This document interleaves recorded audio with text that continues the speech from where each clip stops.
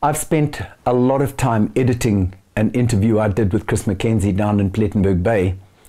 Now, if you haven't listened to that interview, you might not know who Chris is.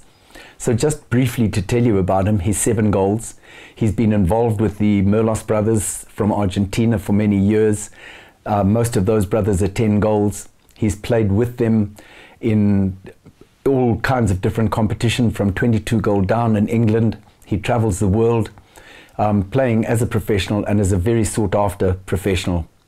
But when I was editing this interview that I did with him, there are some just amazing nuggets of information that you have to get hold of.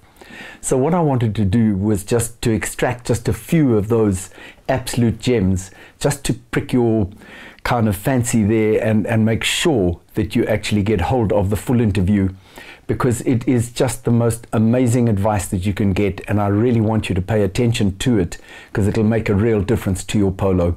So enjoy these few snippets, but do get hold of the main interview and make sure you watch it again and again because as you watch it, more and more will come out of it. Like any ball sport, you want to take the ball in front of you. You know, uh, you see very. I don't think there's any sport where you try and play the ball behind you, and in particular when you're tapping, you want to keep the ball in front of you for a few reasons. First of all, so you can have another swipe at the ball if you miss it, but uh, mainly because if you get forward and you get low to the ball, you can see the height of the ball. The minute it's underneath you, you can't see what height the ball is. You know, your eyes can't tell if the ball is that far off the ground, that far off the ground, or it's uh, it's sitting on the ground. Whereas when it's in front of you, you can see the height of the ball and you can play the ball. Um, also, you're probably avoiding the front legs if you're having to go left and having to go right. I mean, if you're tapping the ball here, you literally you can go straight or right. You've got no left movement, you know, which is probably one of the more difficult things, but it limits you a fair bit. Um, so you want to get down low. Um, a lot of weight in the legs are nice and firm. Uh, often beginners they get down to the ball, they tap the ball, and uh, this is a thing that I used to do so clearly. Um, you you have to rebalance. You sit up again, and you get back down to the ball. You you rebalance and you get back down to the ball, and it creates a lot of movement, and you end up missing the ball.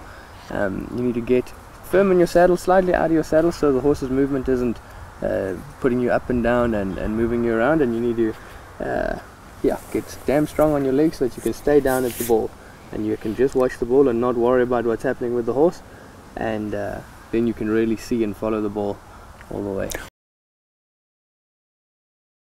What I'm seeing so much though when you're doing that is your lower leg from the knee is really almost back and with the weight on the inside of your feet so that you're riding very strongly in this part of your body.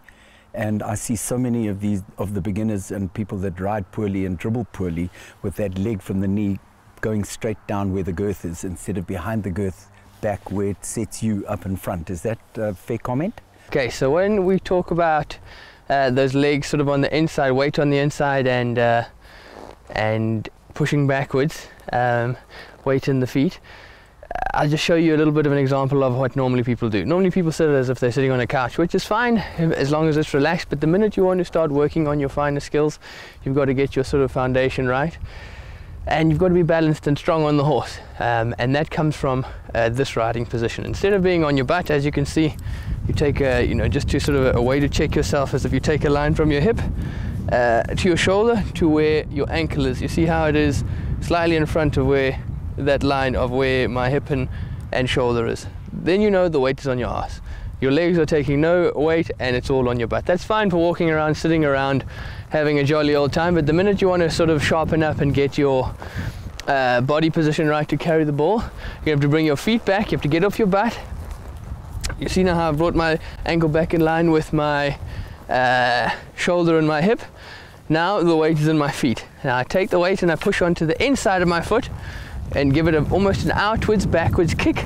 And that lets me get out of my saddle and get balanced nice and forward and be able to stay down and play the ball and get low and get back, hit neck shots and things, um, the slightly more complicated stuff. The minute you are here, you're doing everything broken. Everything's off balance, and you have to tap and you have to rebalance and tap and rebalance. The minute you bring your feet underneath you and behind you and kick into the inside of those feet, you can stay down at the ball as long as you want.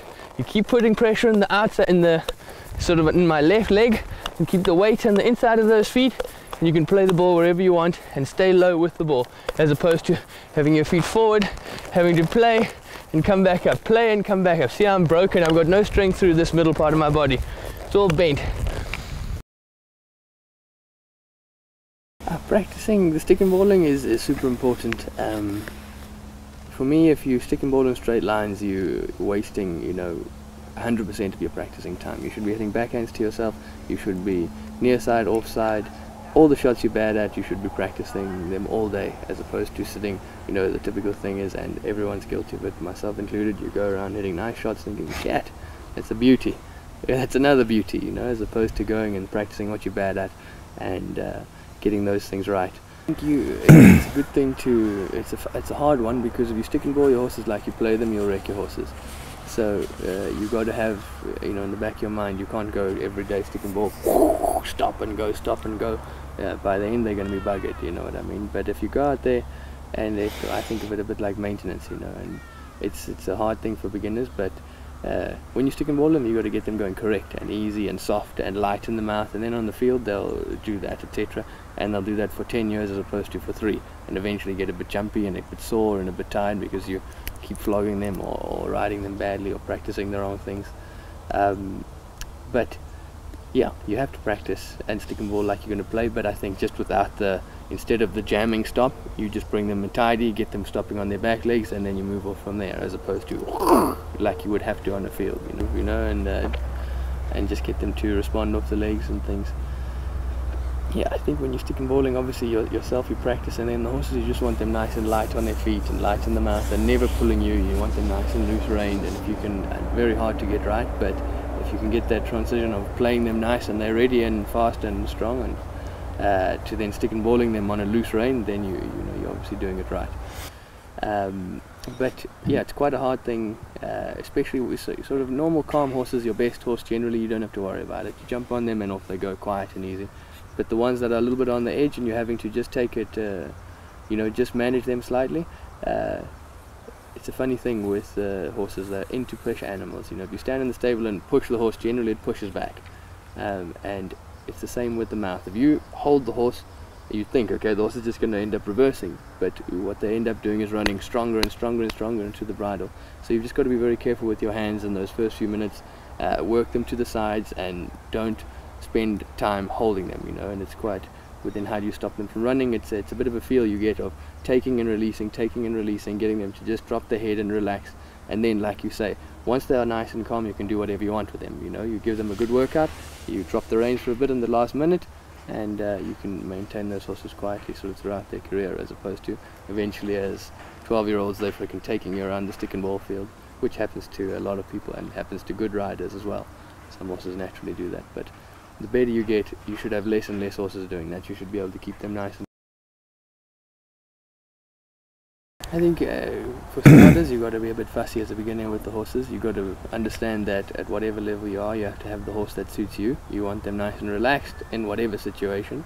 Um, the minute they're pulling you, you've sort of lost the battle. You know, you're not playing polo anymore. You're having to just fight, and you, you, sort of lose the fun. So as a beginner, get horses that are for beginners, uh, nice and relaxed. And if you leave them for a week, or if you don't ride them for two, three months, they're still going to be nice and relaxed see so many people taking the ball forwards one tap. You know, forwards one tap helps you nothing. At first, you have a chance to miss the ball. Second, you give the guys time to get close to you. Um, if you've got space with you know with the new rules, you can't turn the ball anyway. If you don't, if you you know if you've got no space, you've got to hit the backhand. So if you're turning a ball, it's because you have space.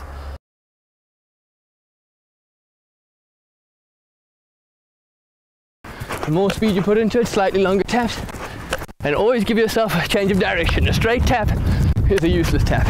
Always change the direction of where you're going. Very few times, even going to goal, you tap the ball dead straight. You want to give yourself directional change, you can move on to it. Keep the ball ahead of you, nice firm taps. This at a canter looks like a long tap at a gallop.